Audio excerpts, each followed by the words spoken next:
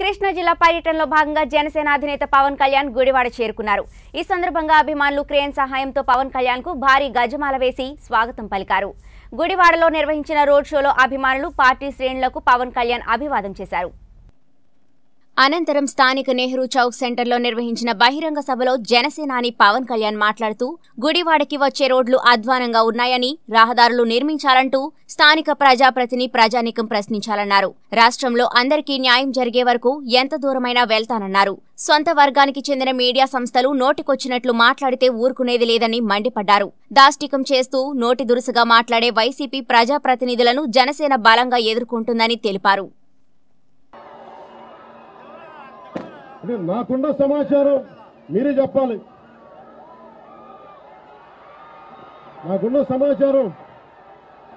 ప్రజాప్రతినిధులు పేకాట క్లబ్బులు నిర్వహించే సమర్థవంతంగా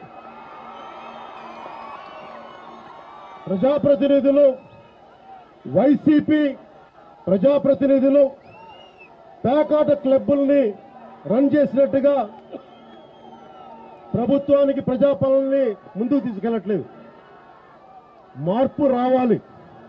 అందరికీ న్యాయం జరగాలి.